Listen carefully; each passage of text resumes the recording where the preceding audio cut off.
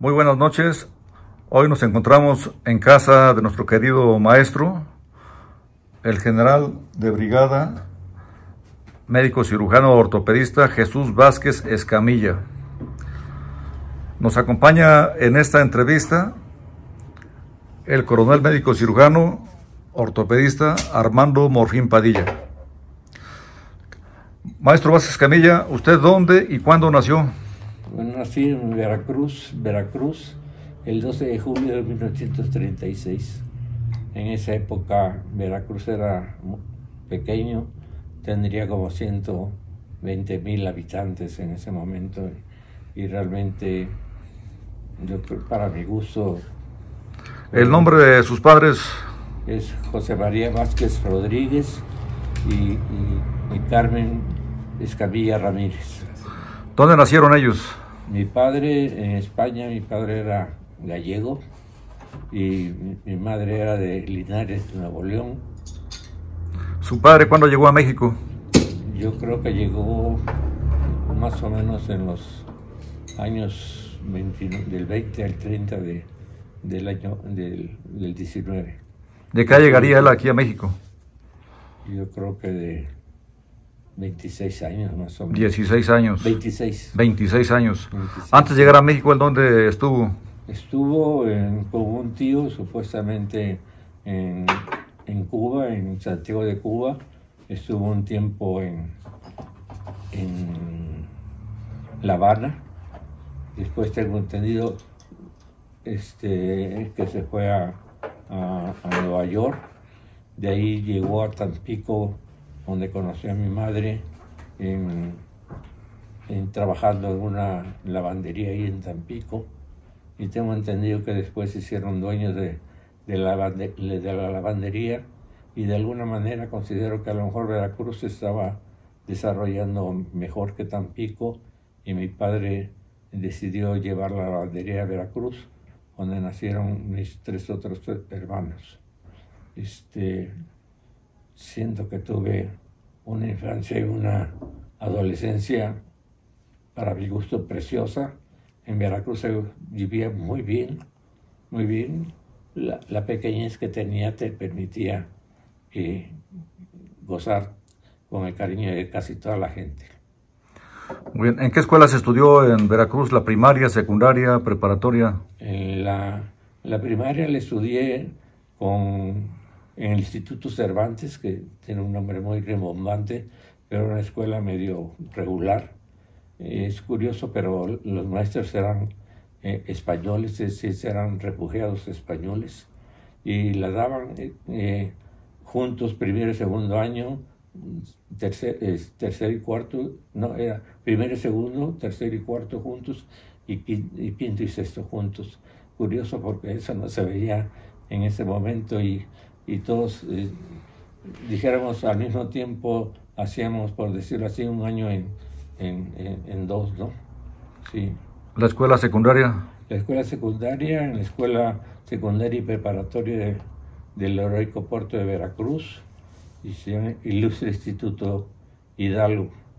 Y realmente creo que era, en ese momento era la mejor escuela de, de secundaria y preparatoria de Veracruz, a pesar de ser una secundaria pública, pero creo que desde el punto de vista de enseñanza se llevaba a todas las escuelas particulares que había realmente muy pocas en, Veracruz en ese, en ese momento. ¿La escuela preparatoria en qué año la terminó? En el, 40, en el 54. ¿Cómo, ¿Cómo se enteró de la escuela médico-militar? Bueno, es, es, es, es curioso porque yo tenía un maestro mío de, de biología médico militar, iba uniformado al, a, la, escuela, pero yo no lo identificaba como, como médico militar, es, a mí me llama mucho la atención eso, pero este, yo tenía un íntimo amigo, Sergio Ruiz Zurita, que éramos realmente íntimos, igual que con el doctor Antonio Ricardo Arenas, eh, éramos los tres como se llaman muéganos, y, y, él fue el que tenía ganas de, de venir a, la escuela. Es más, agarraba el, los, los troncos que cerraban las, las ventanas de, del salón y él lo agarraba como, como arma y marchaba ahí en, en, en pleno salón y, él nos, nos, animó.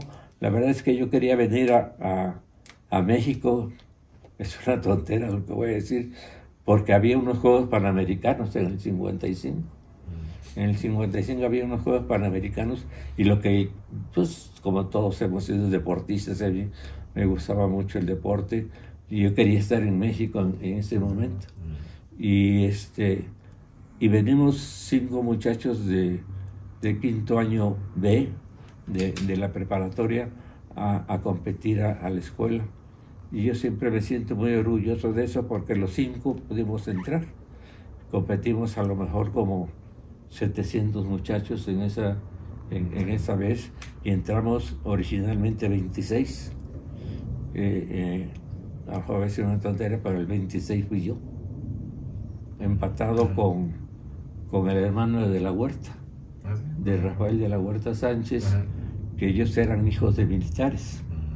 Su, su, padre era, era mayor y era eh, instructor de, de, una escuela eh, militar que había de la, la latinoamericana. No sé si se acuerdan ustedes, creo que ya desapareció pero e, ellos formaban parte de la latinoamericana y una hermana de la huerta de Rafael, que ahorita no me acuerdo el nombre original de, de mi compañero, este, estuvimos, íbamos empatados y supuestamente él tenía más privilegios por ser hijo de militar. Yo no sé en dónde está escrito eso, o no está escrito y, y se hace, ¿no? Pero los, los dos ocupamos el 26 lugar y, y, vivimos juntos un año. Yo viví junto con, con Ruiz Zurita, Sergio Ruiz Zurita, este muchacho, eh, eh, este, ¿cómo se llama?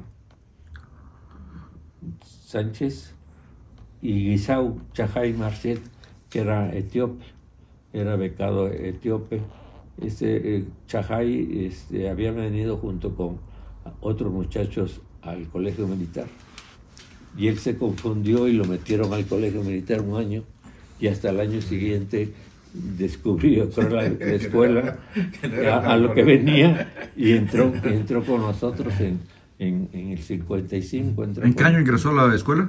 En el 55. Eh, ¿Llegaron otros compañeros más? Sí. ¿Quiénes, quiénes eh, fueron? ¿Quiénes son? Eh, los compañeros que llegaron más Precisamente le acabo de escribir a un hondureño que fue con, estuvo con nosotros, Marco Casares, Ramiro García Reyes, que yo no sé si ustedes lo conocieron, creo que no.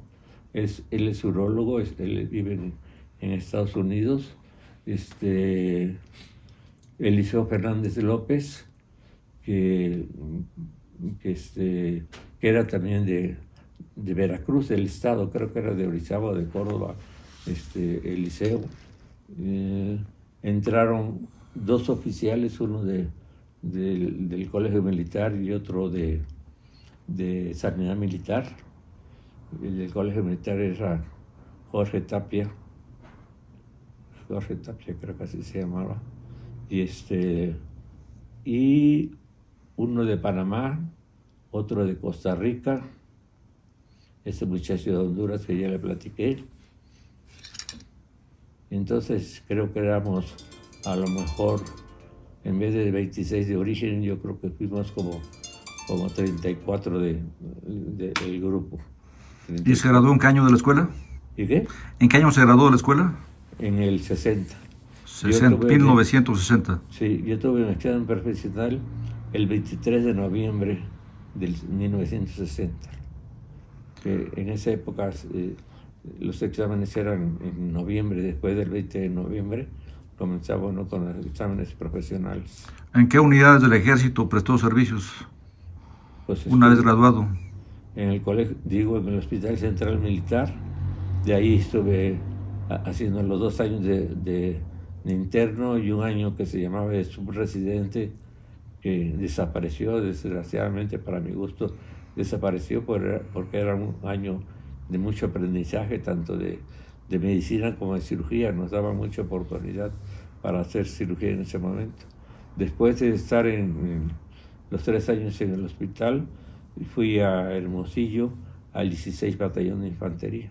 Yo me incorporé al, al, al batallón el 16 de febrero de 1964. Ahí estuve hasta septiembre del 60 y 68. Estuve ahí en, en, Hermosillo y realmente profesionalmente me, fue muy bien desde el punto de vista económico y, médico me fue muy bien y yo siempre presumo que, que el hospital nos preparaba realmente muy bien. en ese tiempo los médicos salían muy bien preparados, como usted dice, médica y quirúrgicamente, con capacidad para hacer cualquier cirugía prácticamente. Yo, yo siento que sí, yo siento que sí, a lo mejor nunca habías visto la cirugía, pero la hacías y la hacías bien. Es curioso, yo siempre presumo de eso, y no por mí, sino que todos éramos iguales. yo, yo siento que todos teníamos ese, ese mismo conocimiento. Por ejemplo, ayer le estaba diciendo a, Efren de, por ejemplo, la ginecología o la cirugía ginecológica, no sé qué tan grande haya crecido, que se ha de haber crecido, pero la cirugía ginecológica en el hospital militar se hacía muy bien. Y tú te podrías a lo mejor puesto de ginecostetra ahí en, tu consultorio y lo hacías muy bien. Yo, yo, yo, yo tengo esa presunción a mí me gustó siempre la ortopedia y yo entré al Hospital General de Hermosillo como ortopedista. Sin ser ortopedista. ¿A usted le gustó la ortopedia desde, estudiante, me imagino? desde alumno, sí. Desde alumno, ¿eh? Desde alumno me, eh, tuve la oportunidad de que casi me obligaron a, que me gustara. ¿Qué tiempo estuvo en Hermosillo?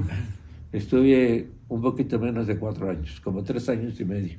¿Y de ahí a dónde se fue? ¿A dónde lo mandaron? Vine aquí a, a, talleres, de, al campo número uno, a talleres de vehículos del ejército. La trave que le hizo. La trave, sí. Es, talleres de reparación de vehículos del ejército. Y, y, ahí estuve un año, y en ese año, que fue parte de, del 68, este, pedí permiso, iba yo todos los días a la consulta externa del hospital militar. Iba yo todos los días a la consulta externa del hospital. ¿De ortopedia? De, ortopedia, sí. Yo iba al batallón eh, como a las 6, de la 6, 7 de la mañana, daba yo mi consulta y, este, y como a las 9 me iba yo al hospital militar a, hacer, eh, a estar en la sala o estar en la consulta externa y regresaba yo como a las 2 de la tarde otra vez a talleres para a ver si había algo más y ya este ya que me quedaba la, la tarde la tarde libre. Usted como conocedor de la historia militar de México, ¿quién considera que fueron los primeros ortopedistas? Bueno, este sería yo, sería los que los de ahora sí de de mi época aunque hubo dos o tres ortopedistas antes, pero al que yo le tengo el reconocimiento como, como prácticamente fundadores de la ortopedia militar, no solamente de la militar, sino en México, al maestro Moreno Valle, Rafael Moreno Valle, al maestro José Antonio Zapata, al maestro este, Rafael, Rafael Barrera Rojas, y a los hermanos el maestro Luis Sierra Rojas y Octavio Sierra Rojas. Había un, un, que era muy buen ortopedista, nomás que murió muy joven, un muchacho Kruger se llamaba, de apellido de lo que yo recuerdo, Kruger, que... Kruger, Kruger, sí. Kruger, con K. Con K. Este, que para mi gusto era muy buen ortopedista y gente buena y era una belleza verle poner un, poner un yeso. De verdad que era una belleza porque la agarraba. Yo le decía, con, todo respeto, maestro, se va a venir usted. porque de verdad le hacías. Y, me acuerdo perfecto de eso. Y, era muy linda, muy linda gente y muy buen, muy buen ortopedista. Este, Y yo tuve mucho contacto, bueno, las referencias de eso, que me gustaba la, la ortopedia, ustedes lo saben, que el tercer año de, que llevábamos la clase de, de ortopedia, este, eh, la daba, el responsable de la clase era el maestro Moreno Valle, no más que en ese momento lo hicieron director del hospital. Y, y, entonces el que nos daba la clase era el doctor Martínez Fajardo, el maestro Luis Martínez Fajardo, que es mi, ídolo, lo admiro todavía. Y, este, y él era el responsable de la clase y el residente a tiempo completo en ese momento era el maestro este, Alejandro Valencia Chiñas. Mm. Y el maestro este, Martínez le preguntaba siempre al maestro Valencia Chiñas, oye, ¿a quién, ¿a quién le preguntaba la clase? El maestro Valencia Chiñas, a Vázquez Escamilla. Y era todos los días, ¿eh? todos los días. Entonces me tuvo que gustar a fuerza, porque eh, lo primero que tenía yo que estudiar para el día siguiente era en la clase de ortopedia, porque siempre me la preguntaban, siempre me la preguntaron. Y, este, y tengo la, anécdota de, de, en el examen final, como a todos los maestros, el maestro Martínez Pajardo le encabritaba que la gente copiara. Y, este, y entonces en el examen final que fue escrito, nos, nos, puso a vigilar a uno que era interno ahí del hospital, que, nos habíamos conocido en la escuela y todo. Había sido oficial de, del colegio militar, ¿cómo se llamaba? Barler, Warner, que tiene una hija médico militar, un, un chaparrito. Entonces, un compañero mío, Pulido Gómez, se levantó y, le, preguntó, oye, ¿qué cosa es esto? Y el otro, muy pesado así, este, siéntate o te reporto. Y yo sin levantar la cabeza, estaban atrás de mí, ándalo a la chingada, indebidamente, porque él era mayor ya, él era mayor y yo cadete, y, y no me dijo nada. No me dijo nada. Y cuando me entregan la calificación de, ortopedia, resulta que Vázquez Camilla está reprobado. Entonces le expliqué yo, es que te reportaron que estuviste copiando. Le dije, maestro, usted sabe que yo no tengo necesidad de copiar. Este, no, está reprobado. Y ahí va yo camino a la, a la escuela y un compañero me alcanzó, te habla el maestro Martínez, y ahí voy. Y me hicieron el examen oral entre el maestro Martínez, Octavio Serra Rojas, y también estaba presente este, Valencia Chiñas. Entonces estuvieron ahí, yo creo que más de una hora, preguntándome, preguntándome, preguntándome. Y lo que ahí tengo como anécdota que me da mucho gusto, este, el maestro Valencia de repente se levanta y dice, oye, dejemos a este muchacho, sabe más que nosotros. Así dijo el maestro Valencia. Ya, dejen a este muchacho, sabe más que nosotros. Que a mí me dio pues, mucha satisfacción. Y la verdad es que siento que, que, sabía yo bastante de, por lo menos, la, teoría de, de, la ortopedia. Y todavía me alcanzaron a poder, creo, nueve, fíjate. después de que estaba yo estaba yo reprobado. Es, es una anécdota que, que, siempre la cuento porque, en primer lugar, es una imprudencia dar a volar a, un, mayor, pero yo tenía mi, particular estilo en los hijos. El, doctor Rafael Moreno Valle, él tuvo una formación en el extranjero. Él fue, él estuvo en, en Loyola, Loyola, eh, eh, creo que estuvo en, en esto donde... En Estados Unidos estuvo, ¿no? en Nueva Orleans. Nueva Orleans. En Nueva Orleans, estuvo en Nueva Orleans. Eh, ¿Cómo se llama la, la facultad de Nueva, de Orleans? No me acuerdo, pero sí yo sé que estuve en Nueva Orleans. Por una en Nueva Orleans. Y ahí, este, el maestro es muy destacado. ¿El doctor Zapata, toda su formación fue en México? yo, yo tengo entendido que también estuvo en Estados Unidos, pero, de- pero antes que el maestro, este, el maestro Moreno Valle, para mi gusto. Y el maestro Moreno Valle fue en tiempos de guerra. Por eso también tuvieron mucha oportunidad de hacer muchas cosas. Y el maestro Martínez Fajardo también fue después, un poco después. También todavía le alcanzó la, la guerra, tengo entendido. El maestro, el maestro estuvo en Washington, el maestro Martínez Fajardo, este, haciendo, haciendo ortopedia. Creo que no hacían nada más ortopedia, ¿eh? creo que hacían muchas cosas eh, por la necesidad de, de- médicos, de cirujanos más que todo. Ya hacían mucho, hacían muchas cosas. Este, el otro que se formó en Estados Unidos también fue el maestro Luis Sierra Rojas. Él también se hizo en, en Estados Unidos. Y el maestro Octavio este, ya no, no salió de. Los salió de maestros México. Sierra Rojas, Octavio y Luis, ellos se formaron en México, también es- No, eh, tengo entendido que Luis sí se fue a Estados Unidos. Y el maestro Octavio sí se formó aquí en, en México. Eh, podríamos decir a, a- cubierto por, por el maestro Luis. Farrera Rojas, Barrera Rojas hizo México. Era, era muy estudioso, muy biomecánico para todo, era, sabía mucho de biomecánica en ese, en ese momento el maestro. No más que de, carácter difícil, no, era, no era fácil como persona, no, tampoco era malo ni nada, pero sí no era fácil, era...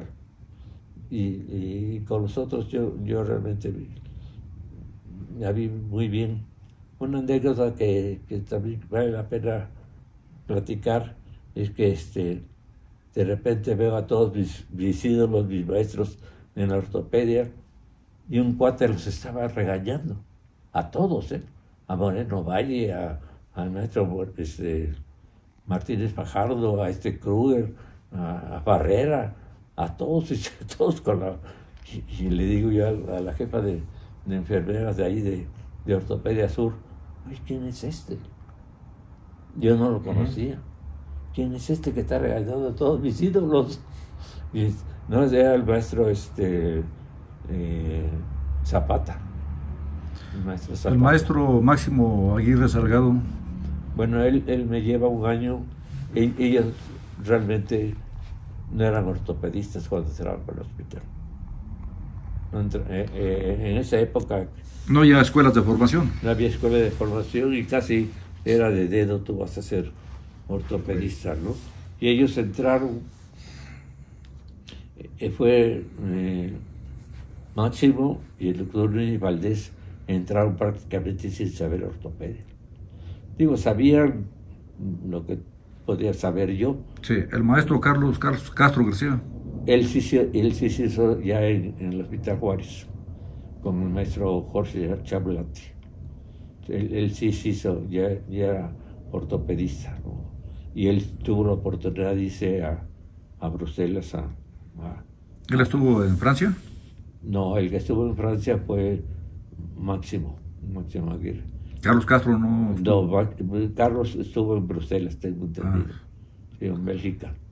Este, eh, y de- Máximo tuvo de compañero en, en París a Álvarez Cabras. ¿Así?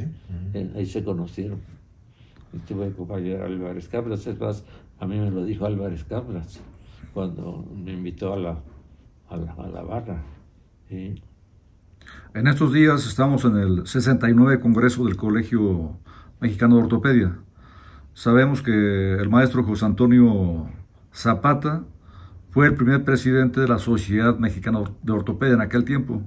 Él fue pues de los pioneros quienes fundaron la sociedad y de las principales sociedades médicas, de las primeras. Sí, ya tiene muchos años eso de, de, de que se formó la, la, la Sociedad Mexicana de Ortopedia y como todos saben, eran reuniones en, casa, ¿no?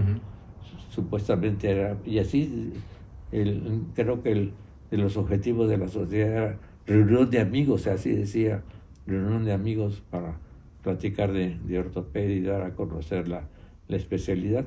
En eso, pues están tres, cuatro médicos militares como fundadores. Está el maestro Moreno Valle, está Zapata, está Luis y está Parrera Rojas. Son, creo que son los cuatro que son... Eh, este, ¿Algún otro ortopedista de su época o más antiguo que no... Porque el maestro Redón es posterior a usted. Sí. Pero más antiguos que usted, que haya existido en el medio, en el gremio médico militar. De que, en, que se nos escape en la memoria ahorita. ¿En cuanto a qué? Ah, está también el maestro Álvaro Fox Alonso. Sí, Álvaro Fox, que yo le debo mucho Álvaro. Yo tengo mucha reconocimiento al maestro Martínez Pagardo, pero realmente le enseñó la ortopedia fue Álvaro, Álvaro Fox Alonso, que, que nos llevábamos muy bien porque supuestamente uno de mis compañeros no, decía, tengo dipoplia porque mm. dice que nos parecemos, que no nos parecemos nada, si acaso un poquito en, los ojos medios claros que él tiene y que yo tengo, pero y, nos llevamos muy bien, tanto cuando yo era este, eh, eh, su residente, supuestamente él era el, jefe de, el, residente de, de, de ortopedia que le, decían residente a tiempo completo de ortopedia. Y él comenzó a trabajar en los hospitales infantiles, en un hospital infantil, haciendo, haciendo ortopedia. Entonces, la ortopedia que llegaba en la tarde en mi guardia, la hacía yo. La, hacía yo y yo le hablaba por teléfono a, a Álvaro, claro que no había ni celulares ni nada, ¿Y, qué tiene? Pues esto, yo pienso hacerle esto. Si tienes algún problema, me avisas. Y como siempre comento yo, ¿qué residente tiene problemas? El residente no tiene problemas. Si no puedes, me avisas. Sí, sí, sí, sí, sí. ¿Y qué residente de veras tiene problemas? Ni cuenta se da que, está en problemas. Yo lo que siempre yo digo, yo siempre he dicho eso, ni cuenta se da que está en problemas. ¿eh? Por, por estar haciendo la, las cosas y, no las haces mal, pues. Y yo tuve mucho, también es así que cuando fui su residente, el residente, cuando llegaba algo de ortopedia, me hablaba a mí también. Me hablaba a mí y, me dejaban a mí hacer las cosas. Creo que por eso perdí también la carrera, aparte de la carrera hospitalaria, de que de su residente pasabas a residente. Yo sin sin querer, porque no, nunca fue mi intención, en el segundo año de internado ocupé el primer lugar de, los internos, que no me lo imaginaba yo porque yo tenía compañeros muy brillantes, brillantes, brillantes, y entonces, y, ocupé yo el tercer lugar de, la, de, pasar de, interno a su residente. El primero fue Cohen, para variar. Este, Abdul, Abdul Habit, mi compadre. Y el tercero fui yo. ¿Y el maestro Grande Sánchez? ¿Ya fue su compañero también? Sí.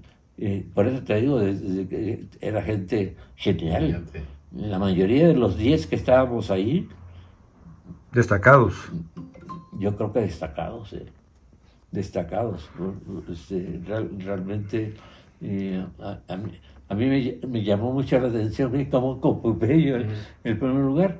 Lo que sí era muy trabajador y, y, responsable y me llevaba yo, ten, tenía la capacidad de empezar mi estilo, me llevaba yo muy bien y con mucho respeto con los, sus residentes.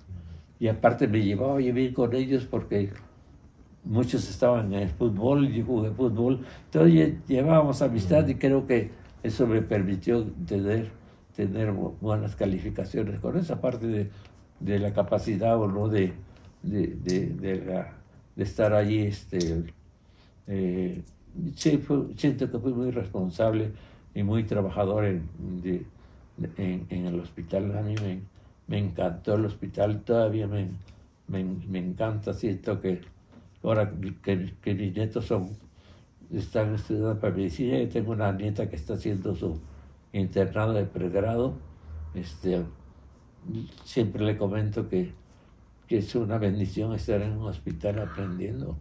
Maestro, nos está aportando mucha información valiosa para, del gremio médico militar, de la historia de la ortopedia militar. Y pues vamos a seguirle preguntando más cosas. Maestro, y con relación al hospital infantil que fue fundado por el, el médico militar Federico Gómez Santos, ¿qué nos dice al respecto, maestro? Bueno, eh, ahí eh, el que actuó como, como pilar fue el maestro Luis Sierra Rojas, un médico militar para mi gusto muy destacado, buen, buen maestro. Y Luis. Luis, Luis. Y, este, y aparte el, el, maestro Federico Gómez se rodeó de puros médicos militares de gran prestigio para, para, el, para el servicio del, del hospital infantil. Estaban pues casi todos los médicos militares destacados. El único que no, creo que no fue, fue el maestro eh, Lozoya, Jesús Lozoya Solís.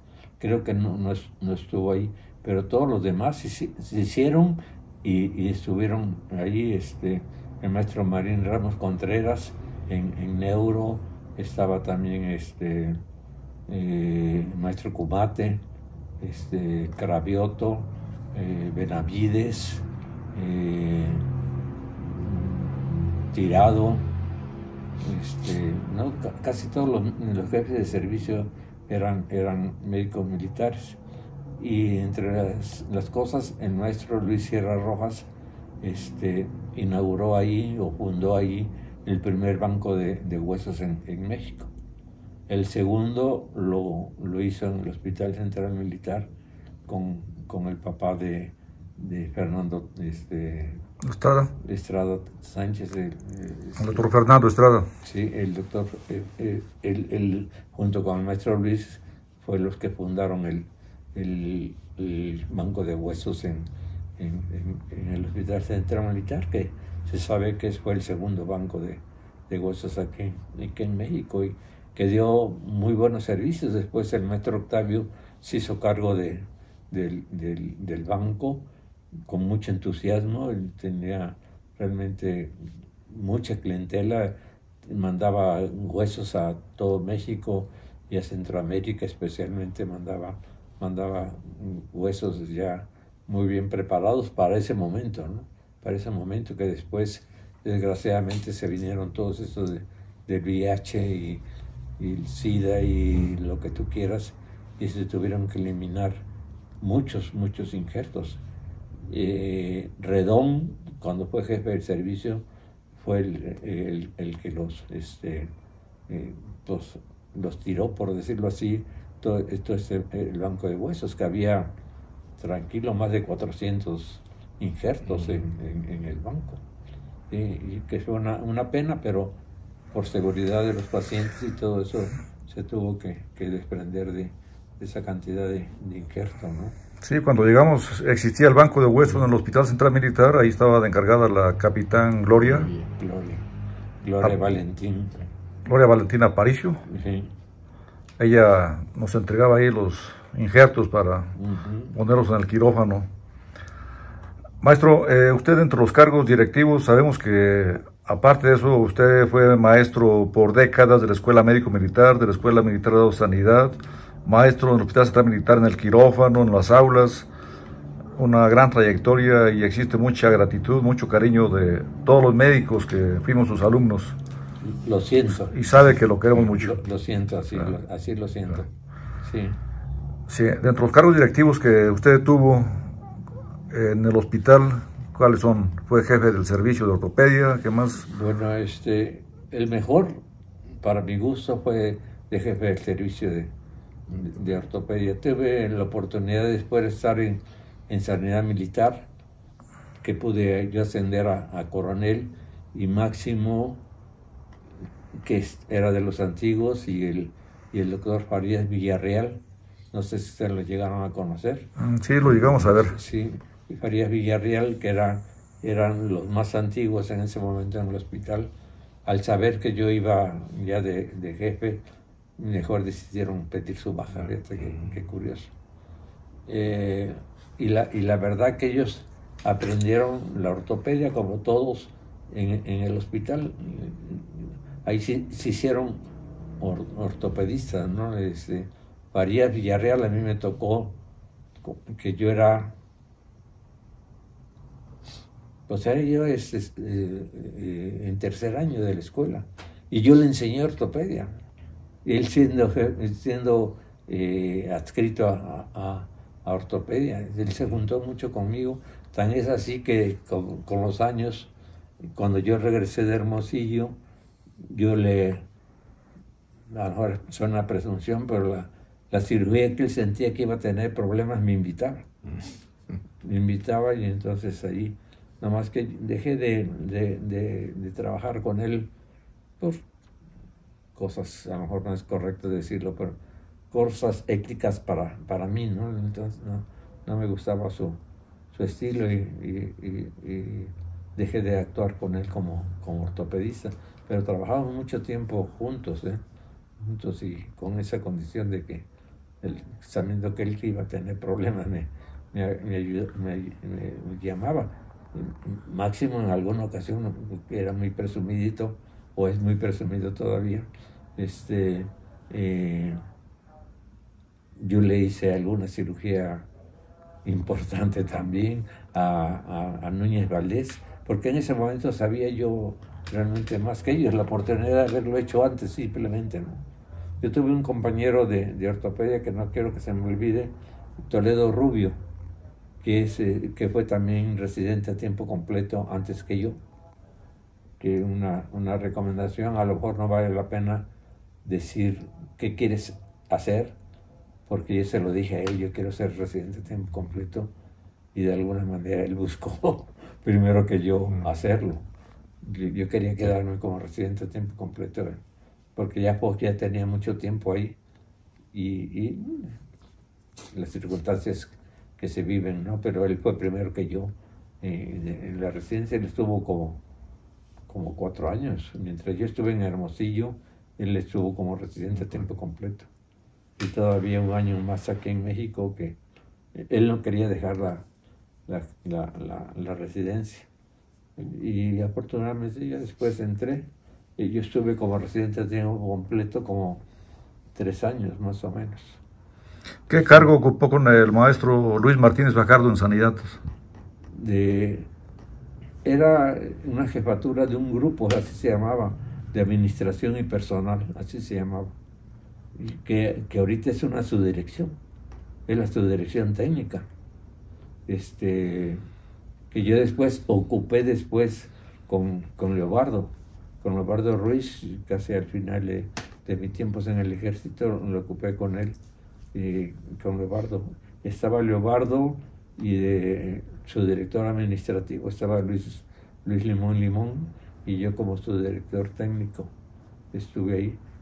Y la verdad, el mejor, el, mejor cargo que, que, tuve dentro del ejército lo considero la jefatura del servicio de, del, de ortopedia.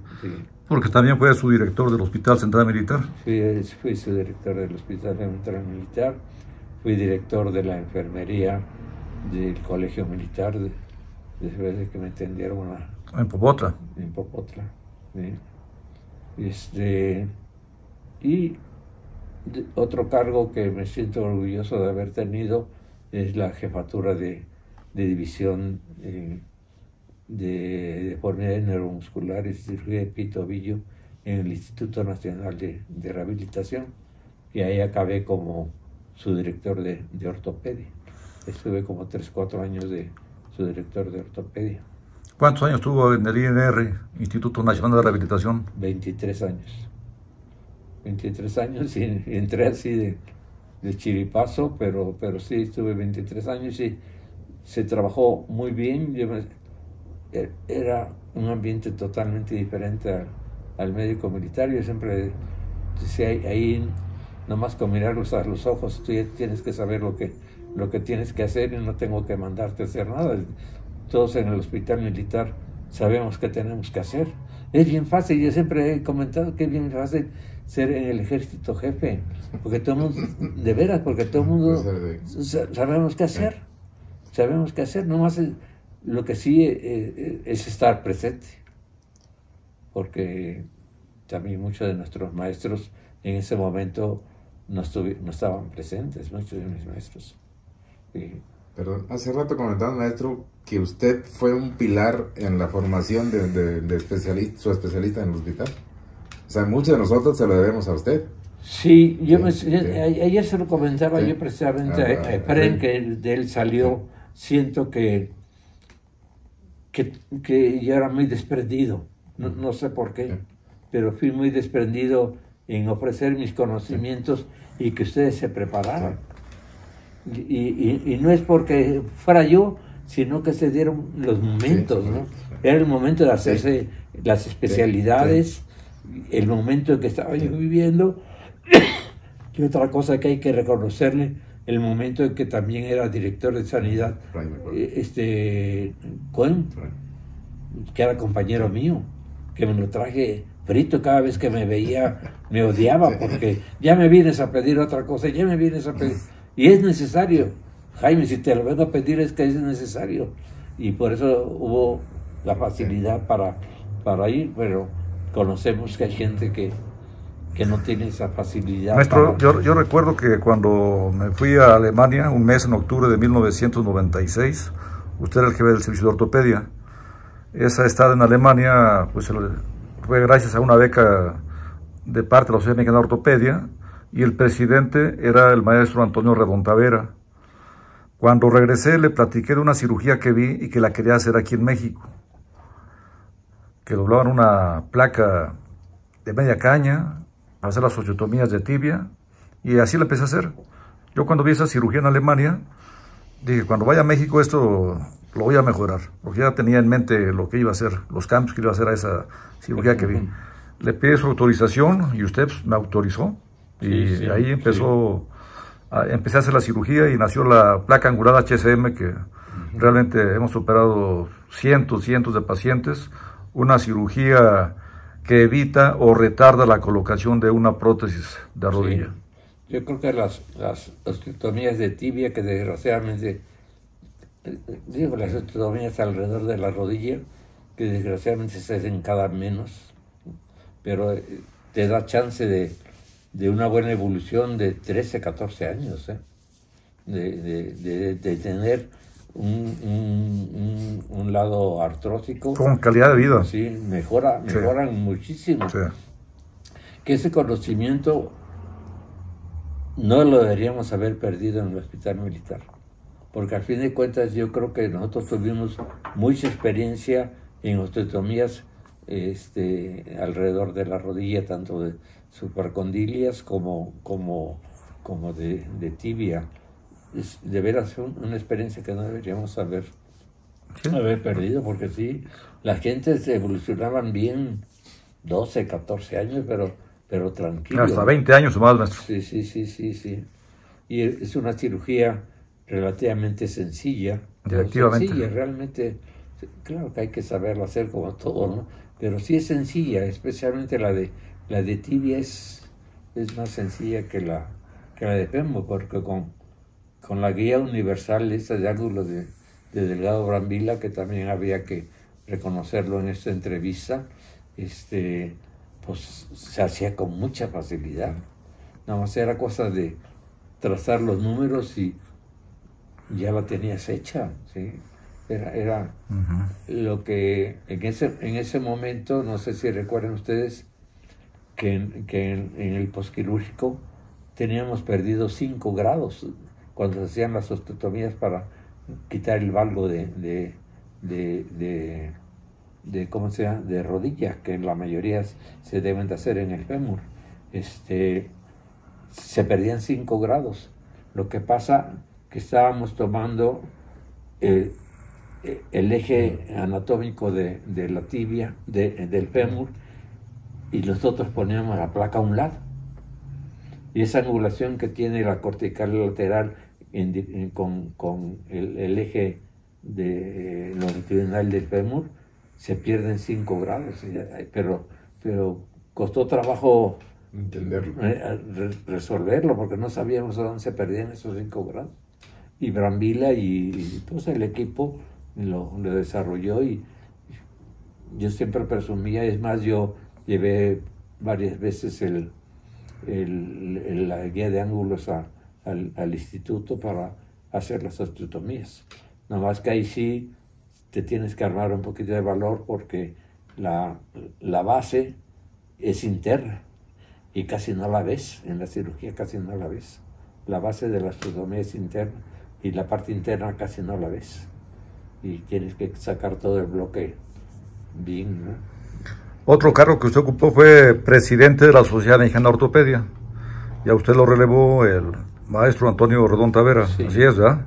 Sí. Y en, ese periodo, en esos dos periodos se tuvieron los fondos económicos suficientes para comprar la actual sede de nuestro Colegio Mexicano de Ortopedia, en el piso 25 del World Trade Center. ¿Qué nos cuenta de eso, maestro? Bueno, es... Maestro, nos va a platicar de la actual sede del Colegio Mexicano Ortopedia, por favor. Bueno, este, les platicaba yo de que la sociedad costaba 13 mil pesos al mes en ese momento, no era, no era nada, y nos dejaron 11 mil pesos. Nos dejaron 11 mil, se gastaron todo. Armando Alcalde eh, que fue, era el director, el presidente que yo sustituí, linda gente que lo, que lo quiero mucho, pero medio lo enredaron para mi gusto y se gastaron todo el dinero, todo el dinero y no quedaba nada. Es más, este, Rosales, Luis, este, Jesús Rosales, que era mi tesorero, y yo pusimos los mil pesos que faltaban para cubrir ese mes. Claro que después no los cobramos, pero, pero pero este, en ese momento lo, lo, pusimos nosotros. Y lo que quiero comentar es que pues, los, eventos de la sociedad dejan siempre algo de dinero y, tuvimos la oportunidad de hacer el, evento del Congreso que se hizo en México con muy buenos resultados económicos. Lo hizo el doctor Dufo, que yo reclamé un poquito el manejo de ese dinero y se me echaron encima, pero este resultó bien. Después hizo el, las jornadas en Veracruz, que resultaron el éxito. Yo creo que fue el brinco que se dio, y no por mí, sino, vuelvo a decir, de los, de los momentos que se viven. La anterior jornada había sido en, en, en Oaxaca y no fuimos más de 250 gentes, solo así. Y en Veracruz fueron 900 gentes. Fue el primer brinco que se dio en, las jornadas, porque normalmente las jornadas se habían conservado para hacer realmente un evento social. La base era un evento social, pero aquí, aquí se, se, se elevó mucho la, la, asistencia y fueron, yo creo que se dio vuelco a, al, a la formación de, de, las jornadas, que en ese momento se llamaban jornadas, y nos fue muy bien también económicamente, nos fue muy bien. Y yo tuve la oportunidad de, de dejar dos millones, más de dos millones de pesos en, en las arcas de la sociedad. Nosotros queríamos este, también dar el enganche para algo especial, nomás que no tuvimos la, la oportunidad. Y ese dinero se dejó a Redón. Redón hay que reconocer que dejó todavía más dinero que yo. Redón se acabó con dos millones y medio de pesos y entre una cosa y otra había como cerca de cinco millones de pesos. De lo que yo me siento muy orgulloso también de la sociedad es que la abanderé. Eh, eh, se dio el momento en, el Congreso, en el Congreso Nacional, tuve la oportunidad de, de abandonar, yo le pedía al general secretario, que era, creo que era Rivielo Bazán, este, que nos abanderara a, la sociedad y, fue eh, eh, mi general Leobardo Ruiz a entregarnos la, la, bandera y el guion, y, el guion de, de, de, la Sociedad Mexicana de Ortopedia. De eso me siento muy, muy orgulloso, la verdad, porque ahora sí que fue ocurrencia mía esa, esa situación. Entonces, mucha gente no quería. ¿eh? Una ceremonia muy emotiva.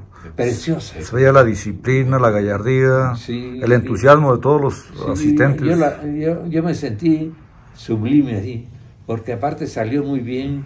Eh, la, la, escolta de la Escuela Médico Militar, que como la, la queremos, llevaba la, la, bandera, la entrega que me hizo Lobardo a mí, el himno nacional que se cantó. Fue, fue un momento muy, muy, muy emotivo para, para mi gusto y yo tuve que luchar para que se hiciera porque no, no, no, no, quería. no quería la gente que, eh, que, que, se hiciera y, y, fue una ceremonia muy bonita. Tan es así que en, en, una cena que yo tuve con el doctor Viladot, el papá, ese, don Antonio Viladot, este, eh, me dijo que él quería eh, abanderar a la sociedad española. No más que los españoles no quieren mucho su bandera, es curioso. No, no quieren mucho su bandera y, y, no se dio. Es más, yo siempre, cada vez que, que, que veo a, a, a, Tony, su hijo, le, le acuérdate que, que, que, tú me prometiste que ibas a abanderar a, a la sociedad por, en, honor a tu papá. Y, y no, no se ha dado. No se ha dado ni se va a dar, yo creo. Es, no, en ese sentido, los españoles, a pesar de que sí son muy patriotas y eso, pero no, la bandera no, como, no sé, porque sí, pues, porque es real o, o porque no, no, les, no les llama mucho la atención, como tenemos nosotros como simbolismo nuestra bandera, ¿no? Maestro, un mensaje para los médicos jóvenes, para los residentes de ortopedia, para los estudiantes de medicina, ¿Qué les diría con su vasta experiencia? Bueno, en primer lugar, este, que, teniendo la oportunidad de estar en un hospital para, para aprender y, y más que todo realmente darle satisfacción, eh, que es muy personal también, darle satisfacción al, al, al, paciente, ¿no? buscar que tu paciente realmente eh, quede bien y ser muy ético yo siento que siendo ético, todo lo demás viene, viene solo. Con, siendo ético y con tu capacidad de trabajo, todo lo demás, si quieres dinero, con eso tienes. Siendo ético y, y, y, y con tu capacidad de trabajo de, de hacer bien las cosas. Y lo más importante, para mi gusto, que a mí siempre me gustó mucho la, la enseñanza, ahora sí que aprender para enseñar. Eso sería mi, mi aporte para los muchachos jóvenes, ¿no? Aprender para, para enseñar. Eh, mi, la, la, la, enseñanza me, me llamó siempre mucho la atención. Y sí, como comentabas tú hace rato, fui treinta y tantos años eh, profesor de, de, la escuela. Por cierto, el que me invitó la primera vez fue el maestro Píndaro, que él daba semiología, semiología. digo, propedéutica y semiología, y a mí me invitó a dar semiología del aparato locomotor, que, que siempre me, me, gustó mucho la, lo que era la exploración y me, me sigue gustando mucho ¿no? la, la, exploración. Entonces, más que todo, y seguir aprendiendo. Todavía a la fecha de que, a pesar de que ya no me dedico a la medicina, sigo, sigo leyendo. Sigo leyendo, no tanto como antes, pero antes tranquilo me pasaba yo dos horas leyendo, leyendo en la computadora, que, que, para mí, para lo único que me sirve precisamente para, para leer, no la uso para otra, para otra, para otra cosa. Entonces yo creo que si el médico de residente tiene mucha responsabilidad en, en aprender, e insisto, aprender para enseñar y para la mejoría de tus, de tus pacientes. Maestro, muchas gracias por su tiempo. Usted sabe que lo queremos mucho tiene nuestra gratitud, nuestro cariño y nuestra admiración, nuestro respeto que es infinito. Yo lo sé, yo lo sé que lo tengo de, parte de ustedes, sí. Lo, me siento muy orgulloso de, de eso. Y que mejore su salud, maestro. Muchas gracias. A ustedes, a ustedes por la entrevista. Muchas gracias.